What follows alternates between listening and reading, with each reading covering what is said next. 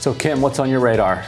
Well, a decorated U.S. Marine Corps officer has been relieved of command, forced to undergo a mental health check, and is being threatened with a court martial after posting a video demanding accountability from senior leadership over the withdrawal in Afghanistan. Last Thursday, after 13 service members and over 100 civilians were killed following an attack at the Kabul airport, Lieutenant Colonel Stuart Scheller posted a video on Facebook sharing his grief and frustration.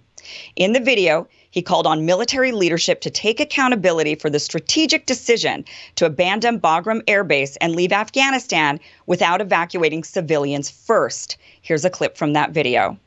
So, in the current fallout of Afghanistan, a lot of Marines were posting on social media, and in response to that, the Commandant published a letter, uh, which is the Service Chief of the Marine Corps.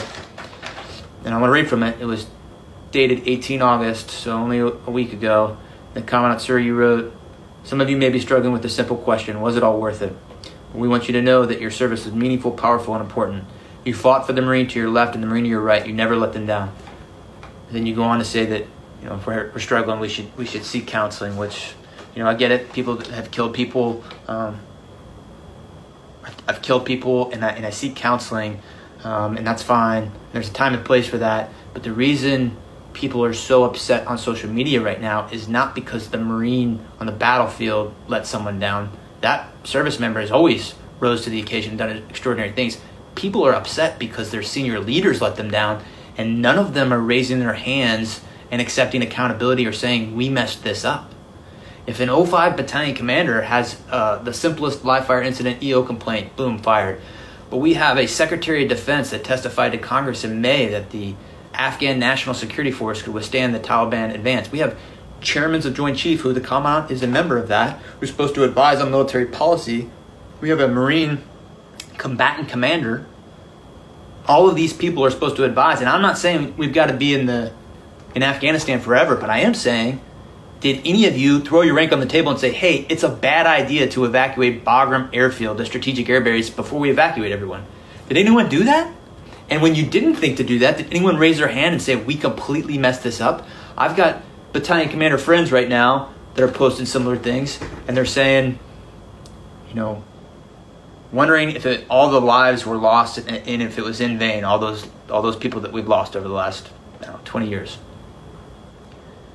And he goes on to say that we're all part of a chain, while every link may not be tested, the strength of the chain is only as strong as each link, and you got to be, you know, good link, something like that.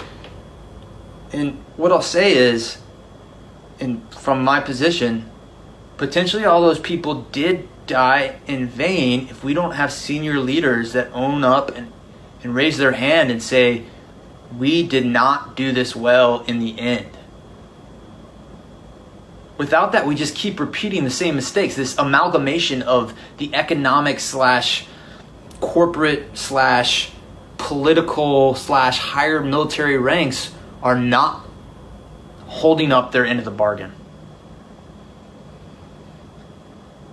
I want to say this very strongly. I have been fighting for 17 years. I am willing to throw it all away to say to my senior leaders, I demand accountability. Now, after the video went viral overnight, Scheller posted on Facebook the next day that he had been relieved of command, stating, quote, I've been relieved for cause based on a lack of trust and confidence as of 1430 today. My chain of command is doing exactly what I would do if I were in their shoes. A few hours later, Stuart Scheller posted again on his Facebook, this time saying he was receiving multiple messages from fellow Marines begging for him to remove the video out of fear leaving it up would come at huge personal cost. Scheller said he had time to think about it and went on to say, quote, "We can't all be wrong. If you all agree, then step up. They only have the power because we allow it. What if we all demanded accountability?" unquote. And then citing Thomas Jefferson stating, "Every generation needs a revolution." Now, two days later, another video appeared, this time titled Your Move, where the lieutenant colonel retired his commission from the Marines after 17 years of service and forfeited his retirement, which he was only three years away from. After 17 years, I'm currently not pending legal action, and I could stay in the Marine Corps for another three years, but I don't think that's the path I'm on. I'm resigning my commission as a United States Marine, effective now. I'm sure there's some MARADMIN on how I'm supposed to do that, and I'll work through that. But I am forfeiting my retirement all entitlements. I don't want a single dollar. I don't want any money from the VA. I don't want any VA benefits. I'm sure I'm entitled to 100%.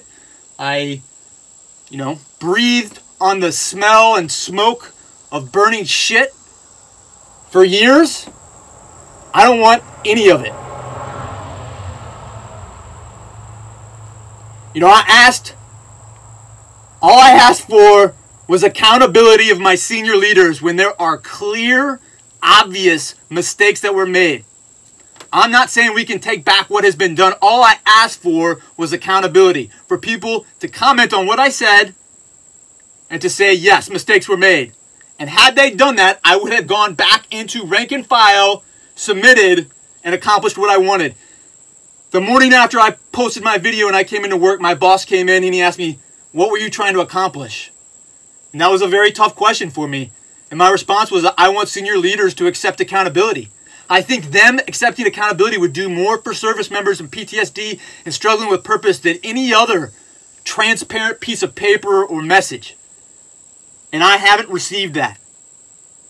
For the over $2 million that I would potentially receive in retirement for the rest of my life, for the however much extra the disability would be. I think that money should go back to all the senior general officers because I think they need it more than I do. Because when I am done with what I'm about to do, you all are going to need the jobs and the security.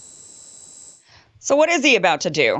Well, he alludes to wanting to burn the system down. Now, this set off alarm bells. The next day, when Stuart went into work, he was ordered by his commanding officer to undergo a mental health screening. In his Facebook post, Scheller stated, quote, excusing the actions of service members because of PTSD does more damage to service members than any trauma in combat.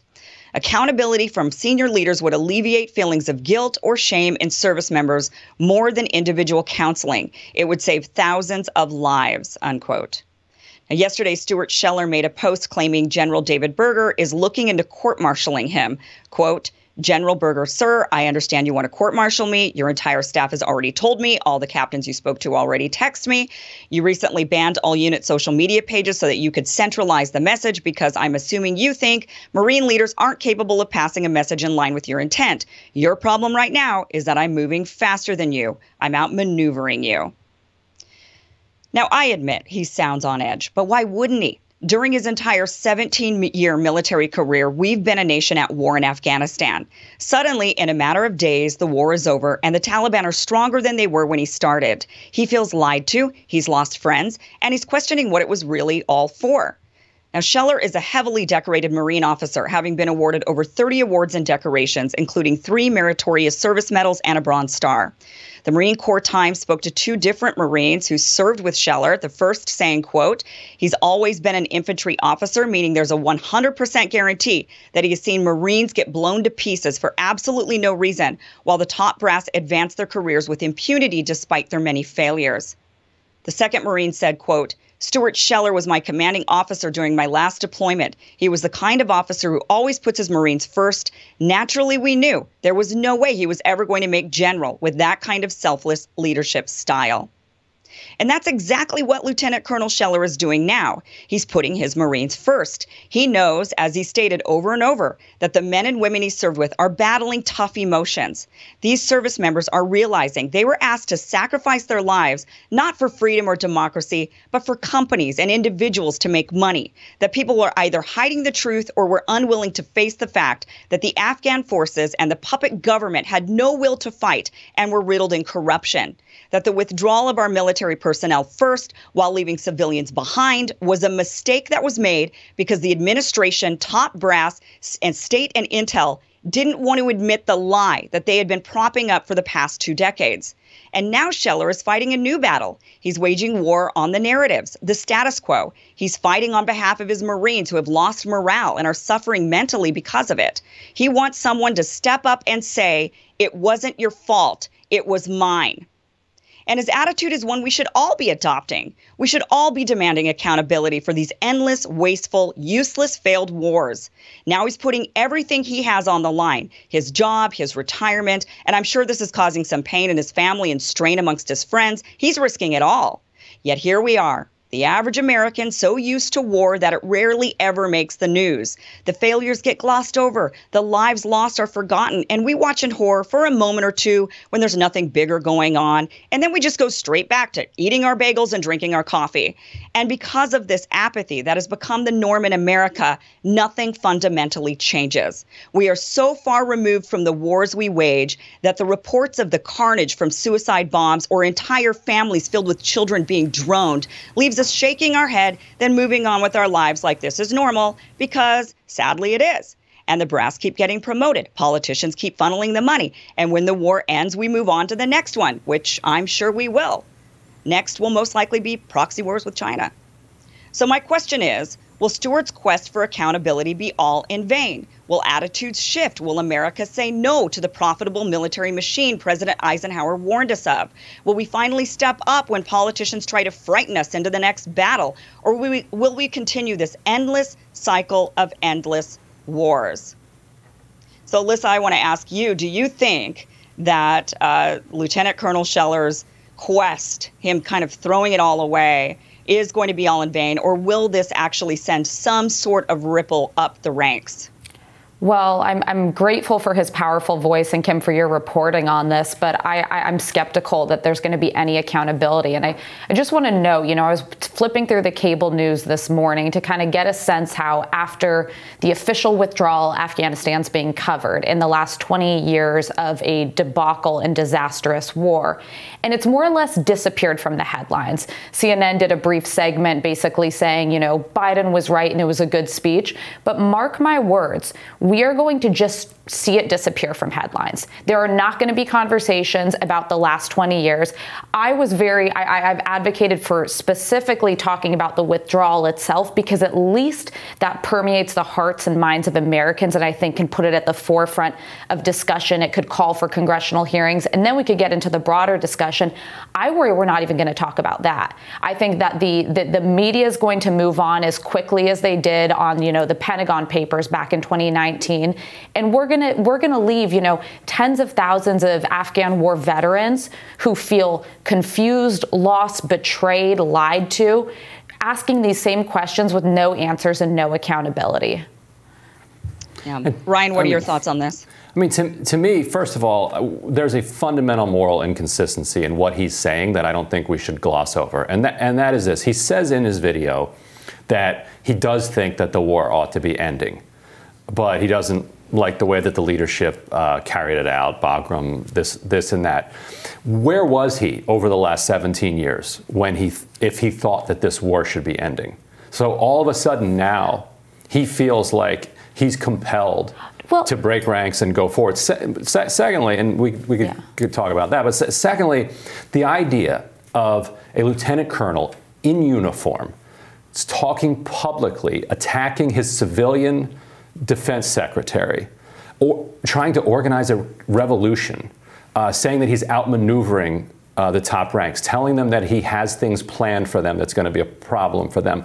I don't think people necessarily understand the gift that we've had in this, this country to have civilian control over the military you know, is the, you live, is the live defense country, secretary a civilian? I mean, well, he, he is. Well, yes, can give yes, him a waiver, yes, so we call him a uh, civilian. Yes, he's a civilian. Yeah, yes, he's, he's, not a civilian. He's he he is a civilian. The president's I mean, a civilian. Technically, Yes, she should not have been given a waiver, and I think the Democrats, uh, you know, uh, should not have should not have allowed him to get uh, a waiver because he hadn't. You're in order to serve. What is it? You have to be seven years we out of the military. We gave Mattis a waiver. Yeah. We gave yeah. Mattis got a waiver. He got right. a waiver. He is a civilian. He's so he's not just and he so he's criticizing his civilian leadership.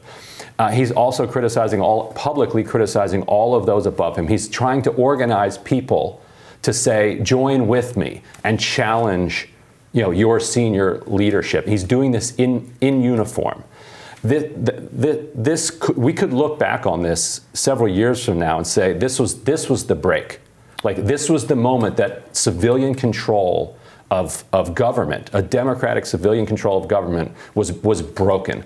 And Scheller, okay, yes, he's, he's clearly he's taking, taking a risk. I, and I think the hammer should come down on him so that uh, you know, these types of uh, mutinies from the military do not become part of our politics.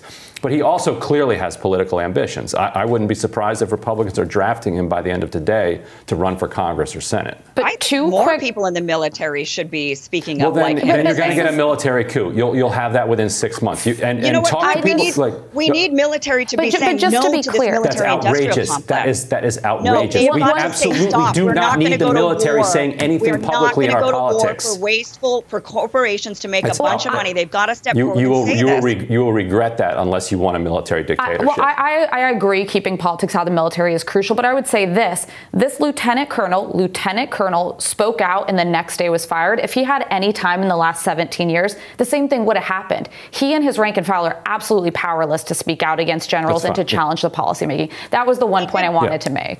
Yeah, He but did bring up that another one of his comrades had actually spoken up a few years ago and had the same fate as him, and it didn't make the news at that time. I mean, this is now an opportunity to make the news in doing this. And I do think that military members need to step up and say, I'm not going to die for your wasteful, crappy wars we- anymore. It's it's the politicians and the elected civilian officials that we need to take on. This was Joe Biden's decision. This was the National Security Advisor's decision. The the, the, the chairman of the Joint Chiefs of Staff doesn't make policy. He's an advisor. There's plenty to look into of you know why he didn't warn sooner, why he was wrong in you know congressional testimony. But ultimately, the buck stops with the civilian leadership, and I think that that is where Stuart needs to be directing his ang- anger. Yeah, yeah, that's right. And we, we just can't we just cannot have figures from the military urging urging revolution and organizing rallies and and trying to uh, you know overthrow their leadership. That that that only leads one direction, and it's a very dark place. We need congressional if you- accountability. If you like the leadership, I suppose. Right. Yeah. So, yes, obviously, every country, when, when they do have a military coup, you know, has massive parts of the population that support it. I, I see where you would be if this happened. I don't. That I, doesn't I mean don't it's a think he's decent calling thing. for a coup. I mean, he's just saying we want accountability, and I don't think that there's anything wrong in in anybody stepping forward and saying I'm not willing to do this anymore. And people are losing their morale, and these guys come back with PTSD, and they're depressed, and they don't have the World War II vets. You know, those guys got to come back and say I fought against the Nazis. The Vietnam vets didn't get to say that. These guys aren't going to be able to say that. They go on and they're and they're depressed, and somebody's got to step up for them. So, you know, I mean, I, I, don't think he's calling for a coup. I, I don't know if we need to go he that did far. say maybe he did is. say revolution, but we'll, Well, we'll I have to right, maybe, maybe. we'll have to leave Yeah. it we'll have to leave it there. Alyssa, looking looking forward to what's on your radar next.